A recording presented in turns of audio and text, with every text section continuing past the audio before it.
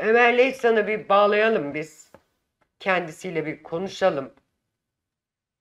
İnşallah kopmadan öğrenelim. Çünkü e, gerçekten aslında e, Sayın Belediye Başkanı bence Bahtiyar Uyanık'tan beri hakkını helal etmemeli. Bahtiyar Uyanık zamanında ne diyorlardı bir zamanlar buralar dutluktu diye bir şey var ya. Öyle alanlar vardı. Ama hiçbirinin aklına orada e, spor tesisleri yapalım, gençlerimiz faydalansın. Hiç bunlar gelmedi. Hiç gelmedi. Binalar yapmayı tercih ettiler. Koca koca binalar yapmayı tercih ettiler. Ve Maltepe sporu tam Maltepe sporun istediği şekle e, getirebilecekken şu an ne Maltepe'de alan kalmış, hiçbir şey kalmamış. E, Maltepe Spor'dan benim e, yönetimde de yer aldığım zaman da özellikle söylediğim şey vardı. Lütfen Maltepe Spor'dan faydalanarak yükselen, yükselmek isteyenler değil, Maltepe Spor'u yükseltmek isteyenler gelsin demiştim. Yine aynısını söylüyorum. Şu an Ömer Levsan Maltepe Spor Başkanı hattımızda. Ömer Bey hoş geldiniz. Hoş bulduk. İyi yayınlar diliyorum. Teşekkür ediyorum. Efendim dün e, mecliste e, meclis üyeniz Celal Bayar Maltepe Spor Evet. için e, Ali Kılıç'tan Maltepe Belediye Başkanı'ndan destek talep ettiğinde Evet, takip Ali- ettim. takip ettiniz. Efendim bununla ilgili Ali Kılıç dedi ki ben hakkımı helal etmiyorum dedi. Şimdi Evet. hak, bizler de bu konuyu tartışmaya açtık. Ben sizden öğrenmek istediğim bir şey var. Buyurun. Ee, Maltepe Spor'un tesisleriyle ilgili. Hiç bitmeyen bir sorun bu. Siz e, Maltepe Spor'u en zor yerde Evet. sahiplendiniz. Ben başarılar diliyorum size. Ee, Teşekkür ederim. ben bu konuda sizi dinlemek istiyorum. Şimdi iyi yayınlar diliyorum Çok öncelikle. teşekkür ediyorum. Dün sizin canlı yayınınızdan e, takip ettim. E, belediye meclis üyesi e, Celal Bayar e, Maltepe Spor'la alakalı e, destek gündeme getirdi. Maltepe Spor'un son durumuyla ilgili. Tabii bunu bir AK Parti meclis üyesi de gündeme getirebilirdi. CHP meclis üyesi de gündeme getirebilirdi. İyi Parti meclis üyesi de gündeme getirebilir. Bu gayet normal bir şey. Yani aynı zamanda Milliyetçi Hareket Partisi ol, ilçe başkanı olduğum için yani o durum yanlış anlaşılmasın o açıdan. Maltepe Spor herkes ilgilendiren bir konu. Kesinlikle. Yani e, öyle bir durum oldu. Takip ettim evet. E, orada e, belediye başkanından e, Maltepe Spor'a destek olması konusunda e, bir talepte bulundu. E, Sayın Ali Kılıç da orada evet e, aşağıdaki tesis konularına değindi. E, şimdi bu tesis konuları şöyle bir e, durum var Sevgi, Sevgi abla. Buyurun. Şimdi e, ben 17 Haziran'da e, bildiğiniz gibi aday Evet. oldum ve Maltepe'de protokolünün diğer siyasi parti ilçe başkanlarının desteğiyle de e, kulüp başkanı oldum. Tabii e, önceki durumlarla alakalı bir bilgim yoktu. Yani Maltepe Spor'un e, tabii Maltepe'li olduğum için süreci kısmen biliyordum ama tabii gelip koltuğa oturunca e, geriye dönük bunları sorgulama durumuna e, düştük. Nedir ne değildir. Çünkü Maltepe'de herkes bir şeyler söylemeye başladı. Efendim şurası Maltepe Spor'un yeri. Efendim şurası Maltepe Spor'un yeri. Yok şurada bir yer var burası Maltepe Spor'un. E şimdi doğal olarak böyle bir e, bilgi kirliliği de var. Biz neye göre karar vermek durumundayız? Elimizdeki belgelere göre. Ben eğer e, şurası Maltepe Spor'un dendiği zaman benim elimde oranın Maltepe Spor'a ait olduğuna e, dair bir belge olması lazım değil mi? Doğru. Evet, şu, şu an e, söylenen yerlerle alakalı hiçbir belge yok. E, sadece tesisler var, aşağıdaki e, tesisler. E, şimdi bu tesislerle alakalı konuda bu tesislerden Maltepe Spor kira alıyor şu an. Maltepe Spor Kulübü. Benden önce de alıyormuş, ondan önce de alıyordu. Belli bir döneme kadar kira alınıyordu. Zamanla bu kira tefe yıllık artışa göre e, bunu belirliyorlar bir şekilde. Şimdi evet e, gündeme getirdi belediye başkanımız onu. E, sadece aslında e, belediye başkanından ziyade bu aslında herkesin bildiği bir konuydu Maltepe'de. Aynen öyle. Yani- Ben sizden detayını istiyorum. Bu ne zamana kadar yani kiralandı? Herkesin bildiği bir konu ama tabii Maltepe'de geçmişten bugüne siyasi birliktelikler, ticari birliktelikler, e, başka birliktelikler, e, hemşeri birlikteliği yani bu durumlar herkesin birbiriyle bir şekilde bir dostluğu var, arkadaşlığı var. Dirsek temasları var. Doğru. Var. Doğal olarak şimdi bu Maltepe Spor e, olduğu zaman konu Valla yani şu şekilde söylemek durumundayım. Herkes kulağının üstüne yatıyor. Yani eee, konunun muhatabı insanlar eee, kalkıyorlar bunu eee, göz ardı ediyorlar, konuşmuyorlar. E, gündeme geldiği zaman sırtını dönüyorlar. Neden? Bir arkadaşlık hukukundan dolayı. İnsanlar birbirini tanıyor. İşte ama bu öyle bir durum değil. Yani ben de tanıyorum bu insanları. Hepimiz birbirimizi tanıyoruz. Ama ortada bir haksızlık, adaletsizlik varsa yani burada bizim arkadaşlığımız e, ikinci planda kalır yani. Doğruyu söylemek durumundayız yani burada. Doğru. E, şimdi e, ben de böyle bir tabloyla karşılaştım. Tabii işte A takımı toparlamaya çalışıyorum, altyapıyı toparlamaya çalışıyorum. Tesis sorunu var. E, tabii bunları ben e, bir sorunmuş gibi, e, zorlukmuş gibi e, söylemek istemiyorum. Ben bu zorlukları bilerek takip Bilerek aldınız. Bilerek aldım. Doğal olarak bu, bununla alakalı bir serzenişte bulunmak istemiyorum. Biliyordum zaten. Ben düzeltmeye elimden geldiğince düzeltmeye çalışacağım. O yolda mücadele edeceğim. Efendim tesis şu şekilde. Burası e, Maltepe Spor olarak e, Milli Emlak'tan 2033 yılına kadar kiralanmış bir yer. Maltepe Daha Spor kiralıyor. Evet Maltepe Spor Evet. kiralıyor. Yani devletimiz Maltepe Spor'a böyle bir imkan tanıyor. Ee, kiralanıyor. Daha sonradan ee, kimin dönemi tabii onları ben daha sonradan konuşa konuşa ee, tespit ediyorum. Yanılmıyorsam ee, İlhan Özüpeçoğlu döneminde olması lazım. Ee, Maltepe Tesis İşletmeciliği isminde bir şirket kuruluyor. Limited şirket. Bu limited şirketi e, şu an e, o zaman iki ortaklı bir şirket. İlhan Özlüpeçoğlu ve İsmet abi, İsmet Tepret. Pardon. Şirketin- Ma bu şirket Maltepe e, Tesis İşletmeleri Şirketi Maltepe Spor'la alakası yok değil mi? Yok hayır kesinlikle Tamam. yok. Yani Maltepe Spor'da. Yani İlhan Hayır. Özbekoğlu ve İsmet Tepret tarafından. Evet. Yani e, kendileri öyle değilse çıkıp tabii konuşabilirler. Ben şimdi bil, Hı hı. yani bilgilerime, öğrendiğim şeylere göre konuşuyorum burada. Eksik bilgi varsa tamamlarlar, çıkarlar. Ondan sonra e, kiralanıyor burası. Oraya da daha sonra işletmeler yapılıyor üstüne. Kafeler yapılıyor. Bunların ruhsatları alınıyor. Bu arada e, kendilerine ait olmayan orada mesela Pelit Pastanesi var köşede. Evet. Orası işte oradan kira alınıyor. Bu tesislerden de kira alınıyor. Bu Maltepe Tesis İşletmeciliği şirketi olarak kira toplanıyor buralardan. Bu kiralardan da bir kısmı e, Maltepe Spor Kulübü'ne e, destek olarak e, şey Evet. yapıyorlar. Kira ödüyorlar. Yani e, Anladım. destek sağlıyorlar. Durum bu. Peki Pelit Pastanesi var. Orası sadece spor alanı olarak e, verilmemiş miydi Maltepe Spor'a? Evet öyle verilmiş zamanında. Evet tabii orada bir halı saha da var bu arada. Halı, bir var. tane küçük bir halı saha var, kafeler var, restoran var. Evet. Yani durum bu bu şekilde. Yani şimdi şöyle bir durum var. Yani Ali Kılıç haklı mı?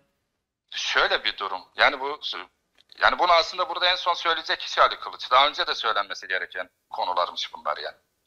Yani bu e, çıktı meclis kürsüsünden söyledi. Durum bu dedi. İşte ilk önce Maltepeliler gitsin dedi. Aşağıda hakkı yeniyor, hukuku yeniyor. Gitsin onlara sahip çıksın gibi bir şey söyledi. Yani o tabii ayrı bir konu. E, ama bunu yani e, aslında herkesin bildiği konu. Şimdi Sevgi abla yani ben de herkes gibi bir gün bu kulübü bırakıp gideceğim. Yani görevde olduğum süre boyunca ben kulağımın üstüne yatamam yani. Kimse de benden böyle bir şey beklemez.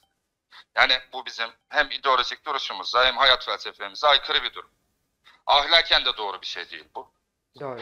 Ya bu durumu Maltepe protokolü ve bütün Maltepe halkının insafına bırakıyorum. Oo, o zaman çok kötü. Yani yani herkes birbirinden kaçıyor. Bu konuda Ama şeffaf şöyle olunması baktığımız gerekiyor. zaman Ali Kılıç Ha? burada e, çok yürekli konuşmuş olmuyor mu? Kimseye hakkımı Ha? helal etmiyorum diyerek. Şöyle bir durum var. Bu konu hakkında en son konuşacak kişi Ali Kılıç olması gerekiyor. Şu anlamda Ali Kılıç e, iki dönemdir burada belediye başkanı ama bu konu daha öncesine dayanan bir konu. Yani bu Evet. aslında Maltepelilerin çözmesi gereken bir konu. Yani Bahtiyar Uyanık'tan beri süre gelen bir durum. Fikri Evet. Köse, Mustafa Zengin. Herkes bu konunun içinde. Yani bunu Evet herkesin bence en son Ali. Kılıç Yani- yani. E şimdi yani bu konuda herkes birbirinden kaçıyor, kaçıyor. Yani bu konuda şeffaf olunması gerekiyor. O yüzden ben burada e, canlı yayında size söylüyorum bunları. Yani bütün benim hiçbir sıkıntım yok. Ya bütün dosyalar çarşaf çarşaf açılsın yani. Herkes çıksın bildiğini konuşsun. Neden birbirinden kaçıyor En büyük insan? sorun o kimse konuşmuyor. Yani ben kulüp başkanı olarak elimden geleni yaparım. Bu görevde bulunduğum sürece bir haksızlık, adaletsizlik varsa. Ucu nereye giderse de gitsin ben sonuna kadar giderim. Gideceğim de zaten. Peki Sayın Ben Başkan fakat herkesten de aynı şeyi yapmasını istiyorum yani. sizce yapılacak mı? Yani bir şey yapılacak konusu şu. Bu benimle alakalı bir sorun değil. Yani benim yarattığım bir sorun değil. Şu an. Siz şu an e, Maltepe Spor'un tesislerinden e, ücret alabiliyorsunuz değil mi? Evet evet. Ha, Evet, çünkü kira- bir ara kira alıyoruz. ne kadar alıyorsunuz? 80 bin lira. 80 bin Evet. aylık. Evet aylık. Ama ben tabii oradan ne e, kira toplanıyor onu bilmiyorum ben. Valla biz bundan önce şeyi biliyoruz. Sırf Pelit'in bundan 3-4 yıl önce 70 bin lira aylık kira verdiğini biliyoruz. Sadece ben, Pelit'in. tabii ben tabii ben bu durumu bilemiyorum. Şu bu yani başka bir şekilde Siz e, bunu sorgulamaya e, haiz değil misiniz? değiliz efendim değiliz. Değiliz tabii ki. Sonuçta burada bir e, işletme ruhsatı verilmiş bir işletmeler var ve e, Maltepe Spor Kulübü ile de bu kurulan şirket arasında e, yapılmış bir sözleşme var. Yani bu hukuken bu yani bu, bu durumda bizim yapabileceğimiz bir şey yok. Şimdi öyle bir durum oluyor ki Sevgi abla. Şimdi geldim ben Maltepe Spor Kulübü. Efendim Maltepe Spor aşağıda tesisleri var diye söylüyorum. İşte Maltepe Spor'un şu kaynakları var. Maltepe Spor'un bu kaynakları var. Efendim hiçbir kaynağı yok Maltepe Spor. Sadece ve sadece aşağıdan gelen e, kira geliri var. Tesisimiz de yok. E, Maltepe Hasan Polat stadı e, biliyorsunuz Maltepe Spor'un Evet. kendisine ait bir stattı. E, daha önceki belediye başkanlarından birinin döneminde e, Elimizden gitti. Bahtiyar Uyanık'tan sonra Evet. Bahtiyar Uyanık döneminde bu stat e, İl Spor Müdürlüğü ve Spor Bakanlığı'na devroldu. Biz bunu e, yapamadılar. Oraya devroldu. Biz Maltepe Spor Kulübü olarak önümüzdeki yıl 100. yılını e, dolduracak olan Maltepe Spor Kulübü olarak kendi stadımızdan faydalanamadık yani.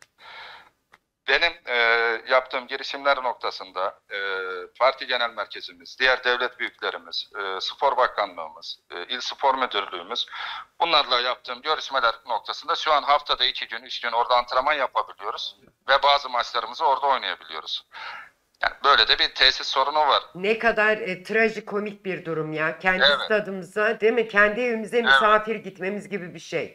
Evet, devlet büyüklerimizle görüşmelerimiz devam ediyor e, bu noktada. E, Maltepe Hasan Polat Stadı'nın Maltepe Spor'a tahsisi noktasında e, görüşmelerimiz devam ediyor. İnşallah. Devlet büyüklerimizle görüşüyoruz. E, altında dükkanları var, işte otoparklar var falan. Vallahi Evet. Sevgi abla şaibeye sebep olmasın diye görüşmelerimde dükkanları istemiyoruz. Hiçbir şey istemiyoruz. Kira, kira geliri istemiyoruz. Dükkanlar bakanlığımızın olsun. Her şey o şekilde devam etsin. Biz sadece Maltepe Stadı'nın içinin kullanım hakkını istiyoruz.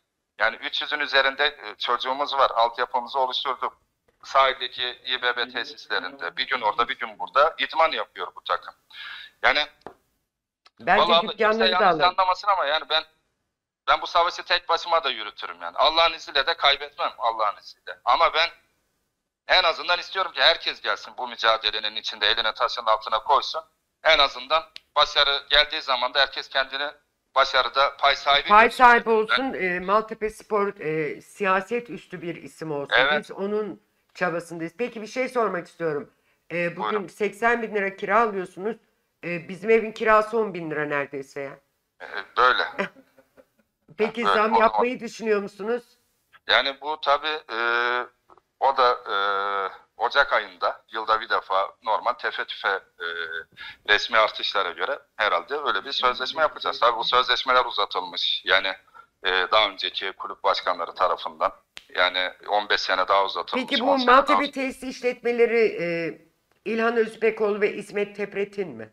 Hayır e, şu an şeyin değil. E, İlhan abi, İlhan Özöpecoğlu ayrılmış oradan, devretmiş. Hmm. Tarih diyorum. Yani şu an İsmet Tebret. Peki İsmet Tepret'le bu durumu konuşuyor musunuz? Evet gittim görüştüm kulüp başkanı olunca İsmet Tebret'e gittim. Evet. Zaten e, kendi beyanı olduğu için burada ifade ediyorum. E, kendi beyanlarıdır. E, dedi ki bu şekilde bizim işte bir e, şirketimiz var. E, bu şirket üzerinden e, ya bunu rahat şekilde bana anlattı kendisi. E, gayet normal bir şekilde. E, Büyükşehir Belediyesi tarafından da yani e, Maltepe mi Büyükşehir mi tam şu an bilemiyorum. Yani işletme ruhsatları da alınmış durumda.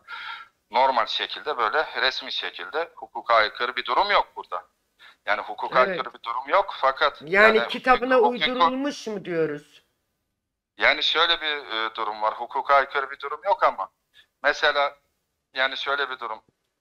Siz e, abinizin, erkek kardeşinizin e, bir hacizlik olduğu, bir malı düştüğü icraya siz bunu erkek kardeşi olarak, e, kız kardeşi olarak gidip bu abinizin, kardeşinizin hacize düşmüş, icraya düşmüş malını almanız hukuken hukuka uygundur resmi olarak. Ama ahlaki midir? Değildir.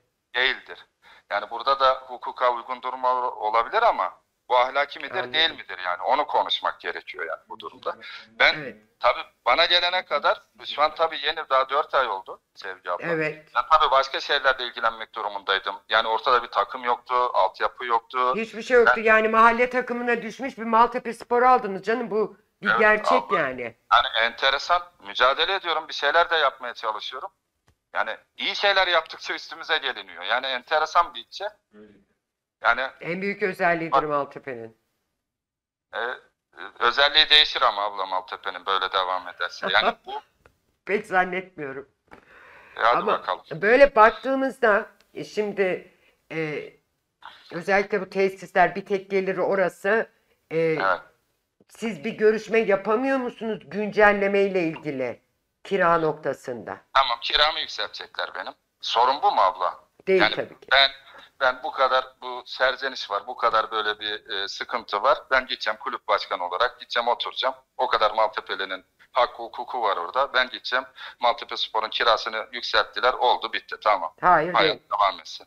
Mesele bu değil. Bu mesele sadece benim çözeceğim bir mesele de değil. Yani bir de böyle abilik olmaz abla. Şimdi Maltepe'de abiyim diye geziyorlar mesela. Yani sizin malınız var, mülkünüz var, işiniz var, paranız var, pulunuz var. Allah daha çok versin. Yani bizim e, ben bunları konuşurken yani yanlış anlaşılmasın şimdi izleyenler de vardır. Ben Maltepe'nin çocuğu olarak konuşuyorum. E, Ben burada ki. siyasi parti ilçe başkanı olarak konuşmuyorum. Öyle konuşmuş olsam bu jargonda konuşmam. Ee, ben Maltepe'nin çocuğu, bir Maltepe'li olarak konuşuyorum. Maltepe Spor Kulübü Başkanı olarak konuşuyorum şu an. Yani bizim e, abilik anlayışımız başka bir şeydir. Abi, kendini abi olarak gören biri kalkar, kendi e, mücadelesinden, kendi e, kazanımlarından getirir bir hayır kurumuna, efendim işte bir e, spor kulübüne, Maltepe'de başka bir e, sporla alakalı e, sporcu bir kardeşimize finansör, e, finansör olabilir, destek olabilir, sponsor olabilir. Abilik böyle olur. Abilik Maltepe Spor'un kulüp başkanı iken Maltepe Spor'da o zaman söz sahibiyken kalkıp bir firma kurup da yani Maltepe Spor'un bir firma kuruyorsunuz ondan sonra kalkıyorsunuz o firma o firma üzerinden işletmelere kirayı veriyorsunuz oradan kira topluyorsunuz bu kiranın belli bir kısmını da Maltepe Spor'a veriyorsunuz ondan sonra abilik öyle abilik Bunun adına da ticaret diyorsunuz. Ama bu ticaret. Abilik değil ya bu resmen yetim hakkı yemek yani yetimin parasını alıyorsun ondan sonra ona üst baş kıyafet alıyorsun. Durum bu ablacığım. Valla e, Ben daha nasıl açık konuşabilirim bilmiyorum. yok daha fazla bence de. E, ama konuştukların hepsinde ben katılıyorum. Burada e, birçok kişi de e, söylüyor. Ha, ben de hakkımı helal etmiyorum diye. Şimdi biliyorsunuz Cumhuriyet Halk Partisi e, Genel Başkanı Kemal Kılıçdaroğlu helalleşme demişti. Ama Evet. Ali Kılıç artık nasıl bir e, duruma geldiyse ben hakkımı helal etmiyorum dedi. Şöyle bir Böyle baktığımız zaman edeyim. benim Abla, çocuğum da burada büyüdü, bizler de burada büyüdük. Biz de Evet. helal etmiyoruz. Yani şu an e, Ali Kılıç Maltepe Belediye Başkanı'dır. Belediye Başkanı e, sıfatıyla e, konuştuğu bir kelimedir o orada. O belediye başkanı sıfatıyla söylediği bir kelimedir. Biz daha farklı bir şey söylüyoruz burada. İnsanların da öyle daha farklı bir şey söylemesi gerekiyor. Bu tamamen Maltepe'li geçmişte olan bir mücadelenin içinde olan insanlarla alakalı bir durumdur. Onların daha fazla bu işin üstüne düşmesi lazım. Eğer bu konu bu noktaya gelmeseydi belediye başkanı da kalkıp onu orada konuşamaz. Doğru Yani bu söylüyorsun. sadece ben belediye şöyle başkanıyla söyleyeyim. alakalı bir konu değil. Bu Maltepe arada söylüyorlar, arıyorlar insanlar, soruyorlar işte belediye başkanı des- destek oluyor mu? Ya bir de bir dedikodu yatağı Maltepe. Ben aldım bu kulübü. Transferlerimi yaptım abla. Bir şekilde eşimle, dostumla, herkesten Allah razı olsun. İyi bir yönetim kurdum. Ee, Maltepe'de hatırı sayılı e, insanlar var. Hiç ayırmadan hiç kimseye sağ olsunlar geldiler bizim listemize girdiler. Bir mücadele veriyoruz. Efendim bir aydır Maltepe'de bir aydır Ömer Lefsan Binali Yıldırım'dan 3 milyon para almış. O aldığı 3 milyonla bu kulübü şey transferleri yapmış. Ya hayatımda görmedim Binali Yıldırım. Ya bu arada keşke tebrik alabilsem. ediyorum. Yani keşke alabilsem. Böyle Yani bir şey yaptıysan tebrik ediyorum. Yok yok şöyle yani artık diyorum ki yok yalan diyorum yanlış diyorum. Neden 3 milyon değil 10 milyon destek oldu diyorum. Yani artık yani işin içinden çıkamayacak duruma geldik. Bir Maltepe artık şey Efendim, ya- Oradan mı oldu buradan mı oldu hayır efendim biz kimsenin kayığına bilmiyoruz. Yani biz kimsenin e, icazetiyle de zaten gelip Maltepe Spor'a talip olmadık almadık. Ne olmuş efendim bu zamana kadar bu Maltepe'de kendini satranç tahtasının başında gören böyle bir yapı var birkaç ayaklı. Bunlar hep bir araya gelmişler. Konu e, bu konu kendi bünyelerinin dışına çıkmasın. Ne yapalım efendim? İşte şu arkadaşı getirelim. Bizim çocuk getirelim kulüp başkanı yapalım. Tabii. Onlar getirip kulüp başkanı yapıyorlar. Niye? Ee, bazı Oynatacak. konular gündeme geldiği zaman çıkıp konuşmasın diye. Ben hiçbirinin iradesiyle gelip talip olmadım abla bu kulübe. Kendim çıktım. Maltepelilerin iradesiyle geldim. Onların iradesiyle geldim. Kimsenin Hiçbir kuklası ekonomik- değilim diyorsun. Hiçbir ekonomik ilişkim hiçbiriyle yoktur. Çıksın konuşsunlar varsa. Ömer Lefsan geldi bizden 1 TL aldı Maltepe Spor için diye. Çıksın konuşsunlar. Ben böyle konuşuyorum. Onlar da çıksın konuşsun. Doğal olarak ben e, o şekilde onların avuçlarında ellerinde öyle öyle bir değilim. Ben bu işin de sonuna kadar gideceğim yani abla. Sonuna Ben- kadar gideceğim. Ben bir zaten şey bu- bir şey daha söyleyip ondan sonra e, yayını bitireceğim. Asuman Yazıcı demiş ki "Sa- Ali Başkan sadece ben demedi. Maltepe halkı ve meclisi adına. Evet. Doğru, hep- evet, doğru, hepimiz- doğru öyle söyledi. evet, Evet, hepimiz abla. adına e, hakkımızı helal etmiyoruz dedi. Ben Ali Başkan'a hak veriyorum. Çünkü Maltepe gerçekten çok müsaitti. Maltepe'yi yüceltmek, Maltepe'yi ivme kazandırmak isteyenler yani tırnak işaretiyle söylüyorum. Soranlar kend- oluyor. Buradan da Kendilerini ivme kazandırdılar. Buradan da ifade edeyim. Soranlar oluyor. Maltepe Belediyesi Maltepe Spor'a destek oluyor mu diye. Buradan ifade edeyim. Ee, ben kulüp başkanı oldum. Belediye başkanı beni aradı. Ee, tebrik etti. Ee, siyasi görüşlerimiz farklı dedi. Ama dedi sen hani Maltepe'de eskisin. Maltepe'nin çocuğusun. İyi niyetini de biliyoruz. Ben dedi Maltepe Belediyesi olarak dedi Maltepe Spor'un sonuna kadar yanındayız diye e, bana söyledi. Ben şu an bir e, bir gece yapmadım, işte bir bayrak çalışması yapmadım, herhangi bir şey yapmadım. Yani Maltepe Spor'la e, gelir getirmesiyle alakalı. E, öyle bir çalışma yapmadım ama kendi beyanları bana bu şekildedir belediye başkanım. Aradı, ben de bu şekilde e, destek olacağını söyledim. Yanılmıyorsam onu bir- dün de söyledi. Onu dün Evet. de söyledi. Gerçekten hiç e, e, siyasi kimliği olarak değil ama çalışmalarını Evet. görüyorum diye e, demin dedim ki hani bir şey soracağım gideceğim yok bir şey daha soracağım. Eski yöneticilerden sizi Evet. arayıp ne yapabiliriz ya gel bir oturup konuşalım. Sen Hayır. Hayır hayır hiç, hiç Yok kimse mu? yok. E, ama şimdi ben bu konuşmamdan sonra hepsi bir araya gelebilir bu akşam. ondan sonra 3 milyon 5 Birbirleriyle- milyona mı çıkar? Birbirleriyle ters olanlar bile şu gün itibariyle birbirleriyle barışabilir, dost olabilirler.